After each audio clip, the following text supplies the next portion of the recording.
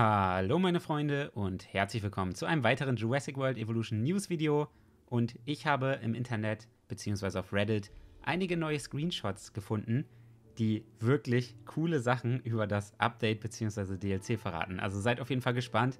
Wir fangen aber jetzt erstmal im Hintergrund mit einem Screenshot von dem neuen Brachiosaurus-Skin an. Der wurde im Developer-Livestream tatsächlich schon gezeigt, der Screenshot. Hier sieht man nochmal ganz gut den Jurassic Park 3 Brachiosaurus-Skin. Das ist dieser grünlich-rote. Ist ein sehr schöner Skin. Äh, hier kann man den nochmal ganz gut erkennen. Ich kann auch nochmal ein bisschen ranzoomen, damit man die Farbe ein bisschen besser sieht. Und ja, ist ein sehr, sehr nicer Skin. Hier sieht man den Skin auch nochmal ganz gut. Hier sieht man sogar mal ein bisschen den Kopf so ein bisschen besser. Da kann man die Farben sehr, sehr gut erkennen, auch gerade im Vergleich zu dem Hintergrund hier. Äh, ja, ich finde ihn wirklich, wirklich schön und ist halt der Original Jurassic Park 3 Skin. Auf dem nächsten Screenshot sehen wir einen Pteranodon im The Lost World, also Jurassic Park 2 Skin, also zumindest von der Art her. Ähm, es ist nicht ganz genau der Skin, aber relativ ungefähr. Äh, sorry für die schlechte Auflösung. Der Screenshot war leider nicht in der besseren Auflösung aufzufinden. Aber ich muss sagen, der Skin sieht sehr cool aus. Besonders hier oben, das gefällt mir sehr gut, dieses Türkise hier am Kopf. Das zieht sich auch so ein bisschen über den Körper runter. Ist ein sehr, sehr nicer Skin. Ich bin auch sehr gespannt, wie viele Skins die Pteranodons dann am Ende haben werden. Als nächstes haben wir hier einen neuen Ankylosaurus-Skin. Man sieht leider den Schweif hinten nicht, aber man sieht schon sehr schön die Farben. Man muss ja sagen, dass der Ankylosaurus momentan in Jurassic World Evolution relativ langweilige Skins hat. Aber das hier ist der Jurassic Park 3 Skin, wenn mich nicht alles täuscht. Korrigiert mich gerne in den Kommentaren, äh, wenn ich falsch liege, weil ich bin nicht der Mega-Experte. Ich glaube, ihr kennt euch besser aus. Äh, ist ein sehr schöner Skin hier. Hier das Rot, dann das Grün hier. Hier unten so ein bisschen golden-bräunlich. Also ein richtig, richtig nicer Skin. Und ich finde es richtig cool, dass diese ganzen Original-Skins in das Spiel kommen. Der nächste Screenshot ist auch wieder aus dem Developer-Livestream von Frontier direkt.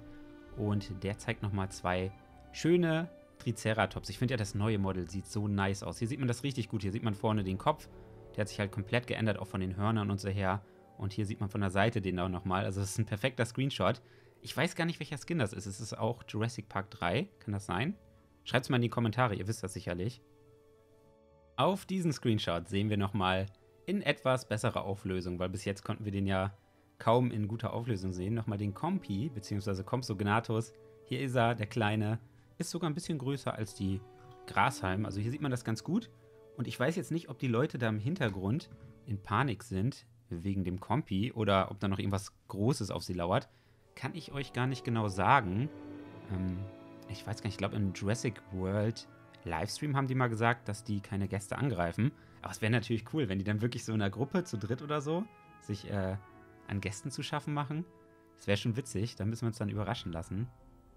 So Leute, jetzt wird's langsam interessant. Hier sehen wir nämlich den neuen T-Rex. Zweimal gleich. Hier haben wir so einen bläulichen Skin ja, so ein bisschen bläulich, gräulich. Und hier ist der, ja, da sind sie sich auf äh, Reddit, glaube ich, auch nicht ganz sicher. Da steht zumindest bei, entweder von Jurassic Park 3 oder The Lost World, der männliche Tyrannosaurus. Vielleicht wisst ihr das ja. Schreibt es mal in die Kommentare. Also ich kenne mich mit den Skins halt auch nicht so aus. Ich finde, das ist auch mal schwer zu erkennen, weil es in den Filmen meistens sehr dunkel und sowas ist, wenn der T-Rex kommt. Und äh, ja, schreibt es mal in die Kommentare. Ihr könnt auch gerne kommentier äh, kommentieren, diskutieren unten in den Kommentaren. Könnte von beiden Filmen sein. Aber es ist halt ein richtig cooler Skin. Hier sieht man den wirklich nochmal sehr, sehr gut. Und da sind wir schon beim nächsten Bild. Sorry Leute, falls euch das hier alles ein bisschen zu schnell geht und gehetzt rüberkommt. Es ist nicht gehetzt, aber ich will es hier nicht unnötig in die Länge ziehen, weil ich habe einige Screenshots und das Video soll hier nicht 30 Minuten lang werden. Äh, hier haben wir auf jeden Fall einen Raptor von Jurassic Park 3. Und was da natürlich auffällt, ist erstmal dieses coole rote hier oben, also dieser rote Streifen und allgemein die Färbung ist mega nice. Und natürlich hier oben diese keine Ahnung, wie man das nennt. Haare, Borsten. Könnt ihr auch gerne in die Kommentare schreiben. Aber richtig, richtig cool. Ich glaube, das hat auch bis jetzt nur dieser Skin. Aber das werden wir gleich sehen, weil ich habe noch einige Raptoren-Skin oder Screenshots auf Lager von Raptoren. Und ich würde sagen, wir gehen jetzt auch direkt zum nächsten. Und der nächste Screenshot zeigt uns einen Velociraptor mal wieder. Das ist der weibliche Skin von Jurassic Park 3 bei Nacht. Und er sieht einfach komplett anders aus. Das ist richtig cool. Also der hat nicht diese Borsten hier oben. Der Skin sieht mega nice aus, auch gerade in dem Mondschein. Würde den auch gerne mal bei Tag sehen, weil man kann nicht so ganz einordnen, welche Farbe das ist. Könnte gräulich sein, das könnte bräunlich sein, bläulich sein. Sehr, sehr schwer einzuschätzen, aber sieht schon sehr bedrohlich aus. Ich meine, guckt euch den mal an, den neuen Raptor. Der guckt einfach viel böser und allgemein so das ganze Gebiss und die Zähne, das ist schon richtig, richtig krass.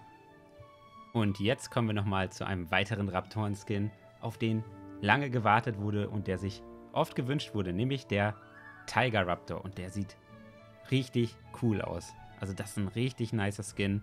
Den wollten viele haben und jetzt bekommen wir ihn endlich. Und ich finde, man sieht hier ganz gut, eigentlich an dem Skin, ähm, dass der wieder komplett anders ist von der Kopfform hier oben als der Raptor-Skin, den wir vorhin gesehen haben. Äh, das sind auch nicht nur diese Borsten auf dem Kopf, das ist auch hier vorne bei der Nase dieser Knochen und so. Also die haben, Frontier hat richtig Arbeit in diese Skins gesteckt. Die unterscheiden sich halt sogar von der Form, also nicht nur von der Farbe, auch von der Form und das ist einfach richtig cool, dass momentan so detailgetreu gebaut wird. Äh, ich feiere es richtig. Und der Raptor-Skin hier, der sieht richtig nice aus. Auf dem nächsten Screenshot sehen wir sogar eine neue Funktion bzw. Animation, die in Jurassic World vorhanden sein wird.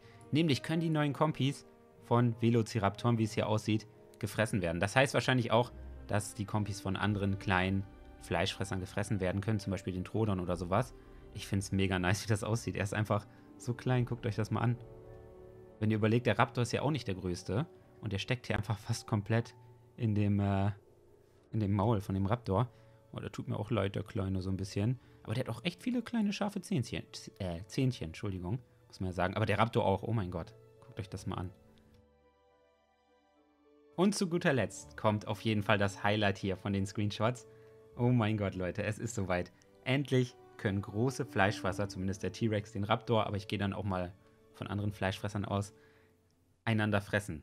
Also ob der Raptor jetzt im Rudel den T-Rex erlegen kann, das äh, bezweifle ich. Aber auf jeden Fall kann der T-Rex den Raptor hier angreifen und dann vermutlich auch töten. Es wird endlich eine Animation dafür geben. Das gab es ja vorher gar nicht. Die haben ja gar nicht gegeneinander gekämpft. Das war auch immer sehr, sehr schwierig, wenn ich Battle Royals oder so gemacht habe, weil die beiden sich dann gegenseitig sozusagen nicht angreifen konnten. Aber endlich wird es diese Animation geben. Ich bin richtig gehypt, das ist mega nice und ich finde es einfach krass, wie dieses Update bzw. DLC immer weiter oder immer mehr wird bis zum äh, Erscheinungstermin. Das habe ich noch nie erlebt. Also es wird immer umfangreicher. Äh, ich hätte nie gedacht, dass dieses DLC bzw. Update so krass werden wird. Aber ich bin mega gehypt, Leute. Und dieser Screenshot hat mich wirklich umgehauen. Also es ist richtig, richtig krass. Und ich hoffe, ich konnte euch mit diesem Video gut informieren. Falls ja, würde ich mich sehr über ein Like freuen. Falls ihr mehr sehen wollt, würde ich mich auch sehr über ein Abo freuen. Ansonsten bedanke ich mich vielmals bei euch fürs Zusehen. Macht's gut, haut rein. Euer Dandy.